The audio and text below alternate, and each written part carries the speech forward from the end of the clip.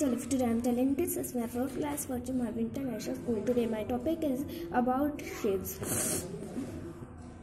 First, circle. Circle has no any size and it is no circle is always around.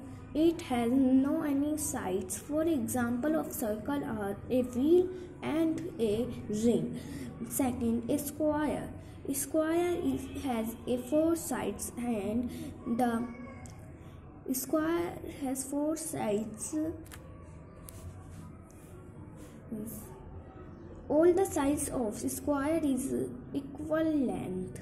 And for example of square are carom board and a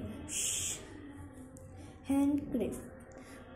Third, triangle. Triangle has has three sides and it has for the example of triangle is a piece of sandwich and a slice of pizza.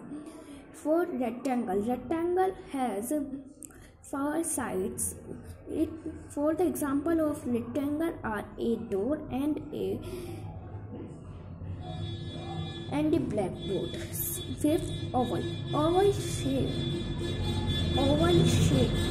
Oval has no any sides. Oval shape.